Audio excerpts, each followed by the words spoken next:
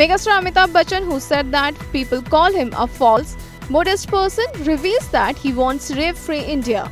At Pink Trainer launch, when a reporter asked him about the significance of freedom in today's time, then see what Big B replied. आज़ादी के क्या मायने हैं आप बहुत सवाल पूछते हैं बहुत मतलब कि भारतवर्ष रेप से फ्री हो Pink, produced by Shoojit Sircar, will see Bachchan donning the role of a senior lawyer. Film also stars Taapsee Pannu and slated to release on 16 September 2016.